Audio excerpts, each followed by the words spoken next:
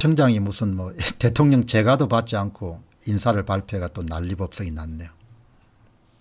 역대 정권에서 이렇게 집권 초기에 이런 사건들이 참 발생하지 않는데 이 사건에 대해서는 그런 뭐 어처구니 없는 일을 저지른 사람들도 나무라야 되지만 윤석열 대통령과 윤석열 정부도 좀 반성을 많이 해야 됩니다. 얼마나 우습게 보였으면 이런 짓들을 하겠냐 이야기죠. 공무원을 수십 년 한 사람이 예, 인사권자 재가도 받지 않고 그냥 발표를 한다. 그게 실수라고 보지 않는 거죠. 엿먹으라 이런 식으로 저는 받아들이는 겁니다. 오늘 사건은 여러분 이 사건이죠. 대통령 재가를 건너뛴 경찰청장의 비정상적인 인사입니다. 이런 게 어떻게 일어날 수가 있습니까? 대통령의 인사 재가가 나오지 않는 상태에서 김창룡 경찰청장이 6월 20일 갑자기 치안감 28명의 전보 인사를 공개하는 사태가 벌어졌다. 무엇보다 인사 발표 2시간 만에 대상자 28명 중 7명의 표직이 바뀌는 등 전례 없는 비정상적 인사에서 후폭풍이 커지고 있다. 급기야 어제 윤석열 대통령 출근길 도어 스태핑 적성문담에서 인사권자는 대통령이라면서 불쾌감을 감추지 않았다. 이번 인사는 아주 중대한 국가 문란입니다. 공무원으로서 할 수 없는 어이없는 가오입니다. 일부러 한 거라고 밖에 볼 수 없는 것이죠. 여러분 공직 생활을 수십 년 한 사람이 치안감처럼 인사처럼 엄청나게 중요한 인사를 대통령 재가를 받지 않고 그냥 발표했다. 한마디로 엿먹어라 이야기인 거죠. 너희들 엿먹어라. 예.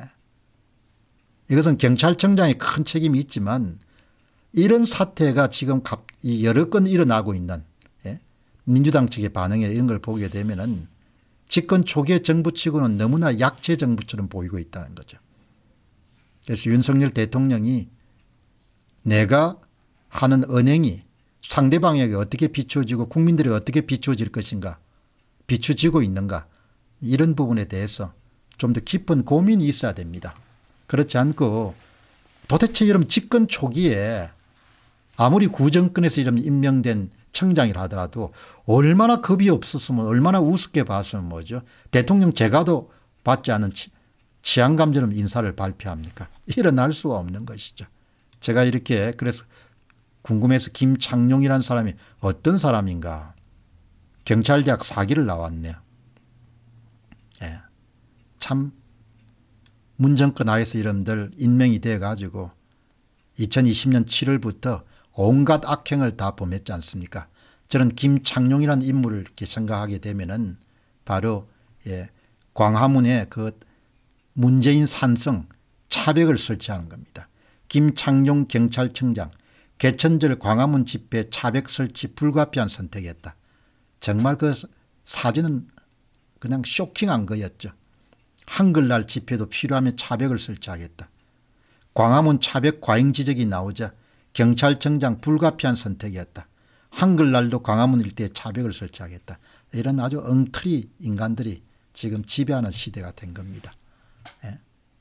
저는 김창룡이라는 인물을 생각하게 되면 딴 것 떠오르지 않고 광화문 차벽 예. 나라가 어떻게 이렇게 완전히 전체주의 사회처럼 보이게 되는 예. 이게 김창룡이라는 인간입니다. 이 이름 차벽 사진 기억나시죠?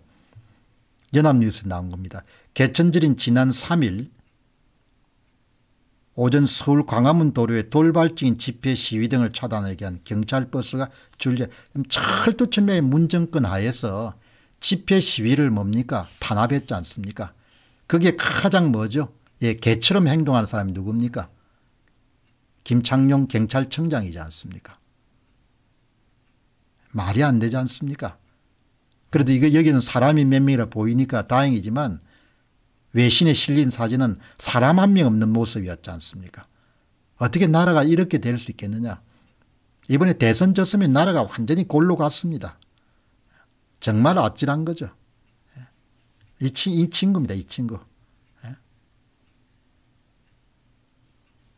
어떻게 뭡니까? 대통령 재가를 받지 않는